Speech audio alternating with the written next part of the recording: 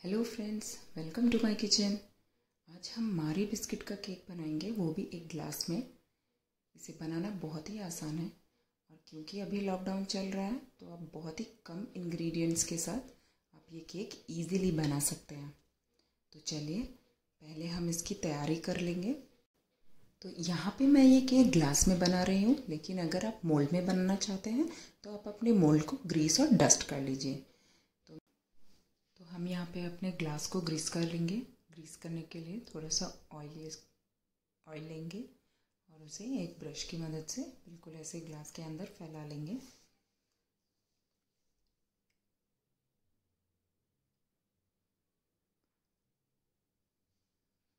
Oil ऐसे फैलाने के बाद इसमें हम थोड़ा सा आटा डालेंगे और फिर उस आटा को भी फैला लेंगे बिल्कुल अच्छे से। ये देखिए अब एक कुकर को हम गैस पे चढ़ा के इसमें नमक डाल लेंगे ये नमक मैंने कई बार यूज़ किया हुआ है, इसीलिए इसका कलर थोड़ा डार्क है।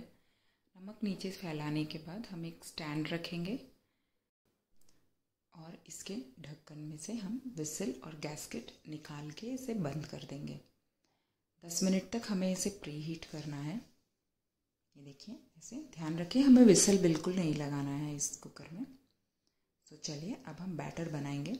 बैटर के लिए हमने यहाँ पे एक मिक्सर जार लिया है। इसमें मैं वन फोर्थ कप शुगर डालूँगी और टू हंड्रेड ग्राम का पैकेट लिया है मैंने यहाँ पे, मारी बिस्किट का।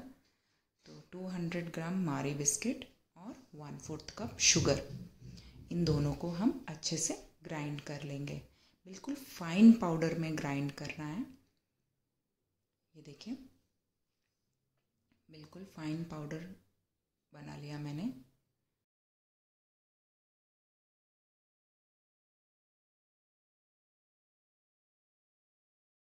अब हम इसे एक बोल में ट्रांसफ़र कर लेंगे।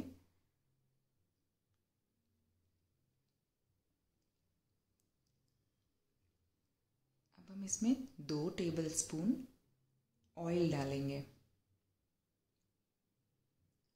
दो टेबल स्पून ऑयल डाला। अब इसमें वन कप मिल्क यूज़ करेंगे हम।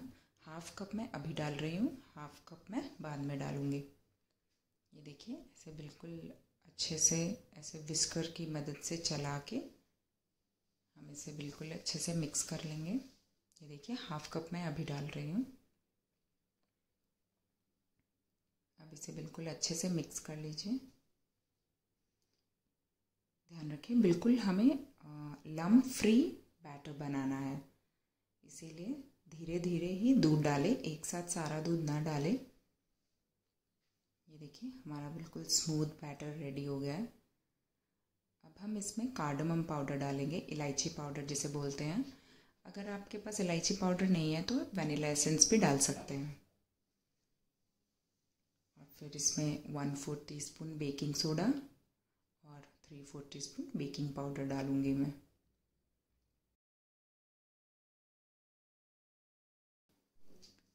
अब हम बहुत ही थोड़ा सा पानी डाल के इन सबको मिक्स कर लेंगे।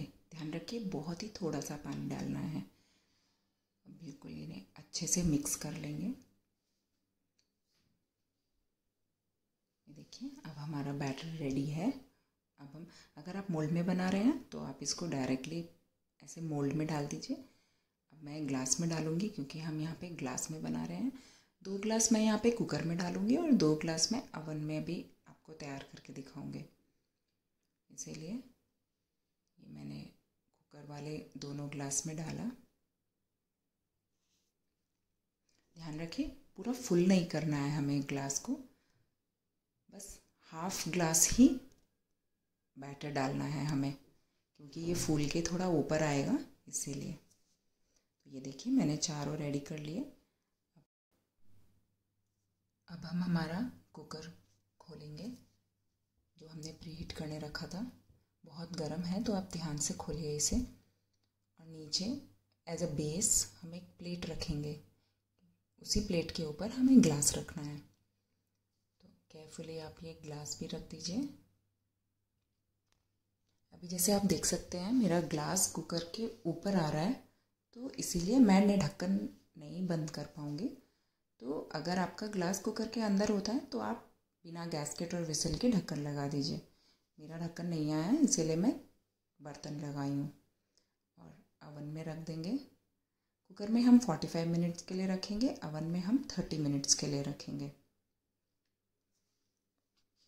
ये देखिए आफ्टर 30 मिनट्स हमारा अवन वाला केक रेडी हो गया है। एक बार स्क्यूअर से भी चेक कर लेंगे।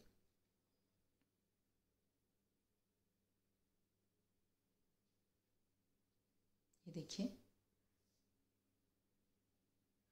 हमारा स्क्यूअर बिल्कुल क्लीन आया है।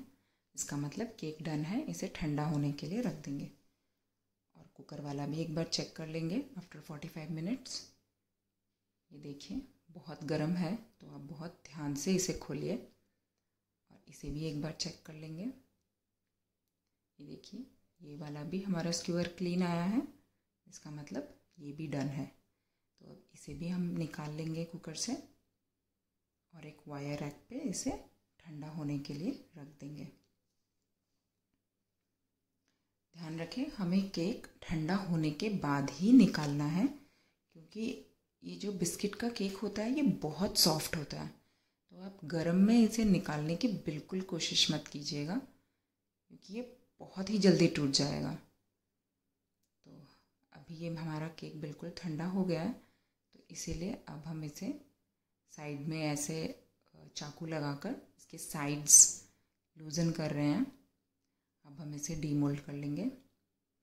ये देखिए, बहुत ही अच्छा बना है। बिल्कुल ऐसे फूल गया है। हमने हाफ़ ग्लास बैटर डाला था, थ्री फोर्थ ग्लास बन के आया है ये हमारा। ये देखिए, ऐसे हम सारे डीमोल्ड कर लेंगे।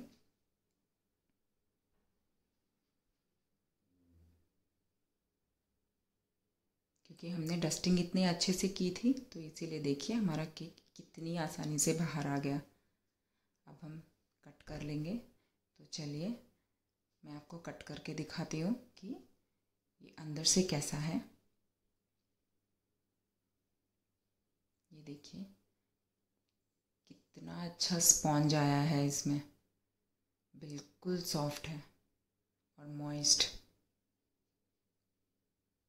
चलिए, अब हम इसे एक सर्विंग प्लेट में निकाल लेते हैं।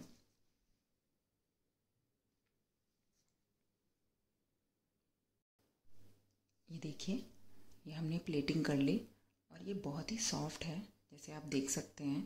इसका स्पॉन्ज बहुत ही अच्छा है।